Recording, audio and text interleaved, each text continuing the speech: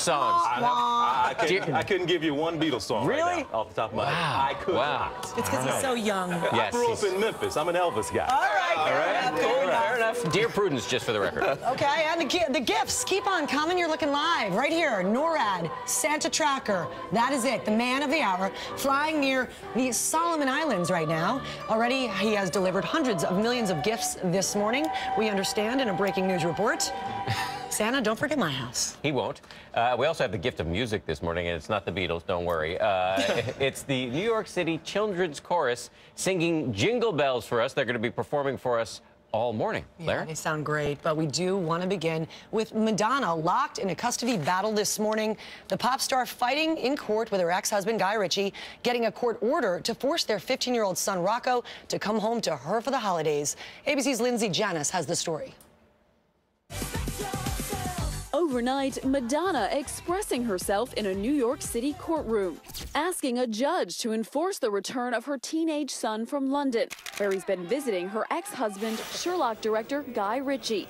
What? 15 year old Rocco, whom they shared custody of, reportedly doesn't want to live with his mom, preferring to stay with his dad in the UK. But Manhattan judge Deborah Kaplan granted Madonna's request. The megastar seen leaving court Wednesday, the judge ordering Rocco to return to the U.S. The teen will reportedly get his own court appointed attorney, allowing him to make a request to live with his father if he still wants to.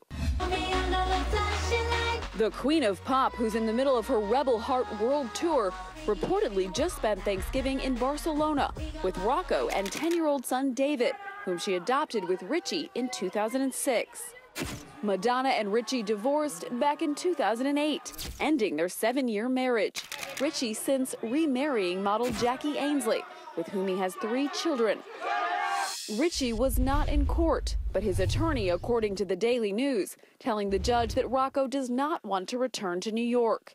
ABC News has reached out to both Madonna and Ritchie. Neither has responded. For Good Morning America, Lindsey Janis, ABC News, New York. All right, thank you, Lindsey. And we want to get more on this case with Nancy Grace, host of Nancy Grace on HLN. Good morning to you, Nancy. This does not sound like a Merry Christmas for morning. anyone involved. What do you make of this case?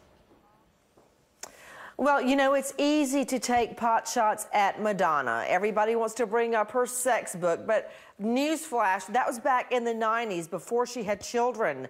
Um, everyone wants to suggest she's a bad mother, but this may be a case of a 15-year-old boy rebelling against living with a controlling mother. But what 15-year-old boy doesn't think his mother is controlling? Right. Now, granted, apparently he's tired of touring with Madonna. He toured with her on Rebel Heart. He toured with her years ago in the MDNA tour. He may be sick of that. For all I know, he's got a girlfriend in London.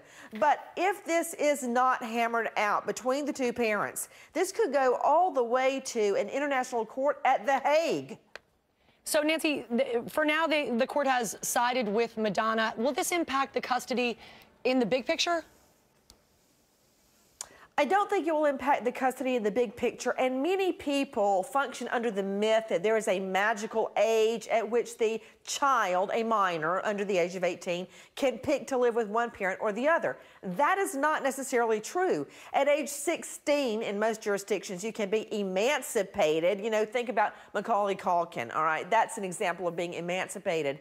But the court very rarely lets a child choose who they're going to live with. They take into account what is the best interest of the child. Now, we may guess that Guy Ritchie has more of a stable domestic life, but we don't know that. Uh, we'll find out as it all unfolds. There's going to be a court hearing on February the 3rd. And the court, for now, that's Justice Deborah Kaplan in Manhattan Supreme Court, has told the boy he must return home and talk to Madonna face to face if he has any hope of ever living with his father. Yeah, all right, Nancy. I just hope for their sake they think about that he's still a little boy. Don't judge Madonna on her sex book, okay? No, ag- No. agreed. That's a great final point. Nancy Grace, we thank you. Dan?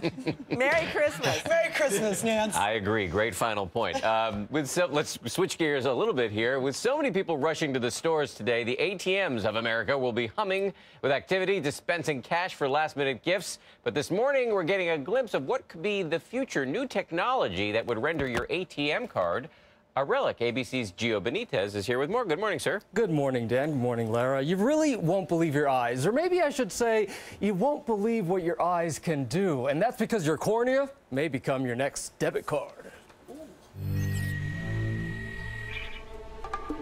Agent confirmed. It's like a scene out of Mission Impossible. But biometrics are no longer the future, they're here. Citibank giving GMA an exclusive look inside at Citi Innovation Lab, where they are in the early stages of testing this high tech ATM that uses your eyes, not a card, to verify your identity.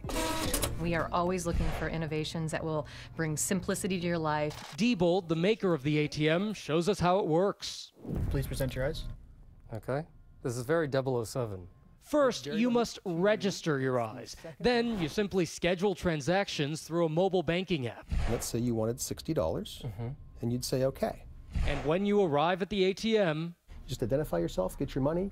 Uh, there's no more card, there's no more PIN, no more paper receipt. when it comes to cardless ATMs, Bank of America says it is also testing them, and JP Morgan says it already plans to roll some out in late 2016.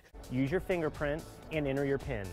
Citibank says this new technology makes your bank account even more secure. The iris scan. It is the second most reliable marker in your body behind the DNA. It may seem silly, but when people are thinking of iris scans, they're going to be thinking of grabbing an eyeball and putting it in front of a machine. That can happen. That here. cannot happen. No pictures, no videos, no No eyeballs. Cybersecurity experts agree. It'll add security by uh, providing a level of uniqueness that just doesn't exist with simple passwords. But the Electronic Frontier Foundation says there could still be vulnerabilities if an unauthorized person is able to hack into a system where your biometrics are stored. Again, this technology is not out yet. It's still being tested. Citibank says it's important they get it right before it launches. In fact, they don't even know yet when it's going to be released, but I kind of want it now. yeah, it's it's really cool. very, it's an unbelievable bit of technology. Yeah. Gio, thank you so Thanks, much. Gio. And we want to say uh, we have so much more coming up, correct? From ATM cards to gift cards, the secrets on how to get the best deals on those popular plastic presents. And then the ultimate Christmas surprise, this woman's family gave her a life-changing gift. Wait until Look you at that. see what it was. You don't want to miss it.